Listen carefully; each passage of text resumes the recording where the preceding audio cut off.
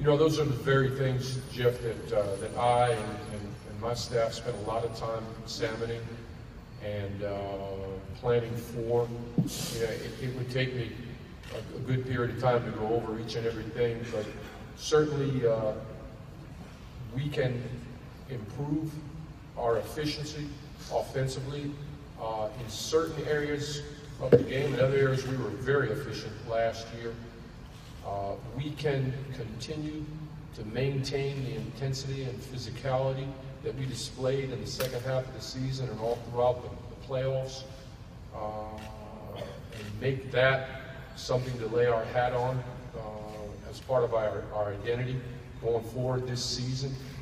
We can better utilize, I, I believe, what is a, a deeper and, and um, even more talented roster than we have.